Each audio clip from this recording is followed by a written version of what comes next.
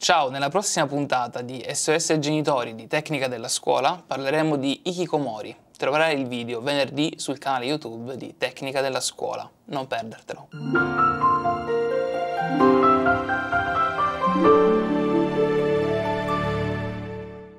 Ciao e benvenuto a questo nuovo video di SOS Genitori. Oggi parleremo di una tematica abbastanza recente, abbastanza particolare, molto richiesta, che è quella degli Ikikomori. Dico molto richiesta perché tramite i canali di tecnica della scuola sono arrivate diverse richieste di questa tematica, alcune relative più ad un approfondimento della tematica, altre invece eh, che puntavano più all'analisi del problema per capire se in casa loro ci fosse questo tipo di problematica. Quindi direi che è il caso di procedere per ordine e iniziare da un primo punto, ovvero che cos'è questo ikikomori di cui si sente parlare sempre più spesso? Il termine giapponese ikikomori viene coniato dallo psichiatra eh, Tamaki Saito e fa riferimento ad una volontaria esclusione della persona o ritiro della persona dalla vita sociale, relazionale, la perdita di interesse e spesso, diciamo, volendo creare un'immagine, Vediamo quella del ragazzo chiuso in stanza che sta tutto il giorno al computer disinteressandosi della scuola, degli amici, di possibili partner, e dei rapporti con i genitori e con i pari.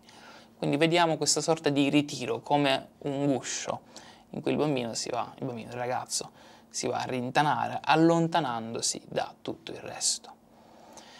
Chiaramente questa è un'immagine stereotipata quindi ha un fondo di vero, ma ogni caso è diverso, ogni caso ha le sue peculiarità, non basta trovare questa immagine o rivedersi in questa immagine per parlare di Kikomori. Però è chiaro che se vedo mio figlio chiuso in camera, che non interagisce, che si allontana dal contesto scolastico, che si allontana dal contesto dei pari, che qualcosa non vada, posso immaginarlo. Non è detto però si tratti realmente di Kikomori. Infatti questo ci porta a una seconda fase, una seconda punto di analisi, che è quello di discriminare tra l'ikikomori e tante altre condizioni potenzialmente pericolose, potenzialmente patologiche, potenzialmente indici di sofferenza per il ragazzo o la ragazza. Dico ragazzo perché l'ikikomori si manifesta principalmente a maschi, però non è detto che una ragazza non possa essere un ikikomori. Dunque, come ribadito più volte, la diagnosi spetta al professionista.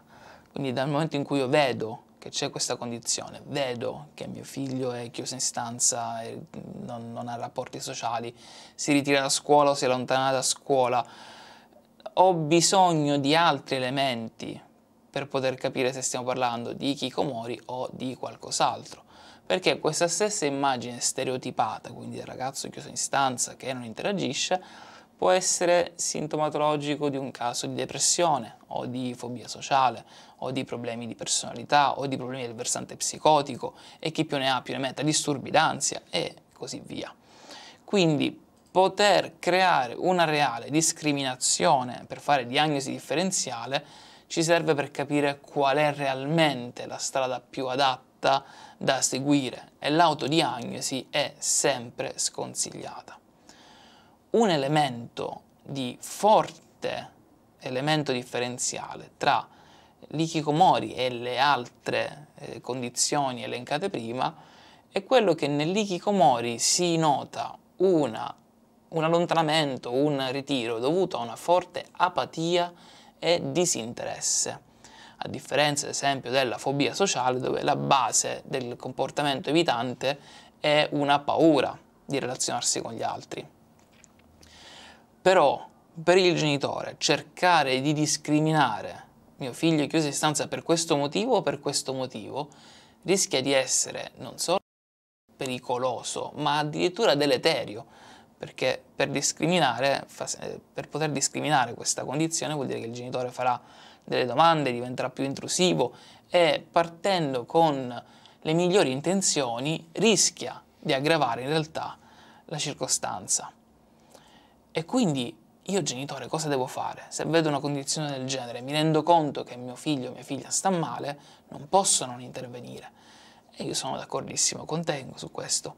L'intervento migliore è quello di rivolgersi ad un professionista, evitare più il possibile l'autodiagnosi e soprattutto in un caso potenzialmente di Kikomori, mai come in altri casi è importante rivolgersi a un professionista molto aggiornato, perché questa eh, la condizione dell'ikikomori che fino a poco tempo fa era conosciuta solo nel paese del Sollevante, tuttora in Occidente viene etichettata da molti come una semplice fobia sociale. Semplice nel senso che la fobia sociale è un fenomeno già conosciuto, studiato, di cui abbiamo protocolli di lavoro e così via, e spesso e volentieri si tende quindi a screditare l'ipotesi di, di una diversa condizione. O meglio, questo avviene nei professionisti non aggiornati, che si basano su dati degli Kikomori ancora vecchi. Solo che quando parliamo di una condizione così recente, quando parliamo di dati vecchi, parliamo di dati di 2-3 anni fa, non stiamo parlando di dati di 20 anni fa. Quindi mai come nel caso di un possibile Kikomori è importantissimo che il professionista che scegliamo sia molto aggiornato. Così potrà avere gli elementi necessari per fare una reale diagnosi differenziale discriminare tra un ikikomori o un'altra problematica e da lì impostare il tipo di lavoro da fare, che potrà essere svolto con lui o con lei in studio o potrà indirizzare verso delle strutture o verso delle associazioni ad hoc che lavorano in quel campo, ad esempio nell'Ikikomori c'è un'associazione italiana Ikikomori che lavora esattamente in quell'ambito, ma prima di rivolgersi all'associazione è importante che ci sia una valutazione ben fatta a monte. Come sempre in questa rubrica mi muovo partendo da un presupposto però, che non si può dare come unico suggerimento, come unico consiglio, come unica parola di conforto a un genitore, no guarda, fatti indietro, fatti da parte e rivolgiti allo specialista, rivolgiti allo psicologo perché è chiaro che considerare il genitore o i genitori come degli elementi di disturbo quasi all'interno di una condizione familiare non è funzionale e soprattutto non è neanche veritiero. Sono molti infatti gli interventi che richiedono la, la partecipazione attiva dei genitori nel migliorare una condizione eh, di, di sofferenza del figlio. Quindi cosa puoi fare tu? per poter leggermente migliorare le cose, non per risolvere il problema, ma quantomeno per migliorarle. Dato che, come detto, la condizione mio figlio chiuso in stanza, che non interagisce, che sta al computer tutto il giorno, che si allontana dalle relazioni, può essere indice di tantissime cose, dobbiamo trovare un piccolo fattore comune a tutte queste cose in modo che il consiglio, il suggerimento sia valido, altrimenti rischierebbe di essere eh, troppo troppo generico. Bene, in tutte queste condizioni, nel depresso, nel fobico, eh, nell'ikikomori o nel disturbo di personalità e così via, la, il tentativo diciamo, generale del genitore è quello di cercare di spronare il figlio. Cioè vedo mio figlio che sta tutto il giorno a casa e allora gli dico, senti, vai fuori, senti gli altri, contatta i tuoi amici, ma perché non stai andando a scuola?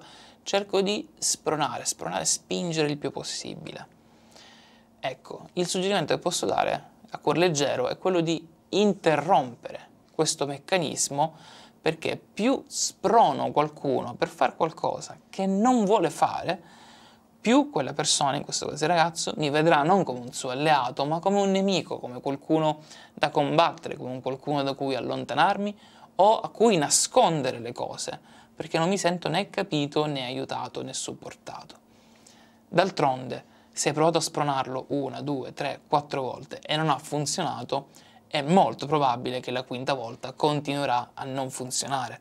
Quindi insistere su quel meccanismo non risolve il problema e non fa altro che alimentare l'astio e l'attrito tra la figura genitoriale e il figlio, che si tratta di chicomori o che si tratta di qualunque altra condizione che genera comunque sofferenza al ragazzo.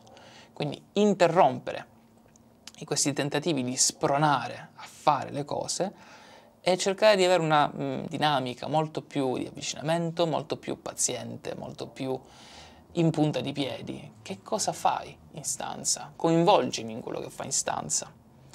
Non è facile, ma è sicuramente una via più funzionale. Ok, detto questo, chiaramente la tematica dell'ikikomori o tutte le altre problematiche citate prima sono molto complesse e approfondirle su, in video di YouTube trova sempre un po' di difficoltà perché vorrebbe dire fare discorsi o eccessivamente tecnici e non è questa la sede, ehm, o risultare troppo poco tecnici. Io ti invito, come sempre, se hai domande sull'argomento, se qualcosa mh, mm, è chiara, se eh, ci sono stati dei punti in cui eh, non hai capito bene, non hai colto bene un passaggio, a scriverlo nei commenti, io sarò ben lieto di rispondere, poter approfondire maggiormente la tematica, oppure utilizzare i commenti per suggerire altre tematiche di cui vorresti sentir parlare. Detto questo, ti invito come sempre a condividere questo video se reputi che sia importante o interessante e a cliccare sulla campanellina così da rimanere aggiornato o aggiornata su tutti i video che usciranno per Tecnica della Scuola qui sul canale YouTube. Ti ringrazio per l'ascolto, ciao e una buona giornata.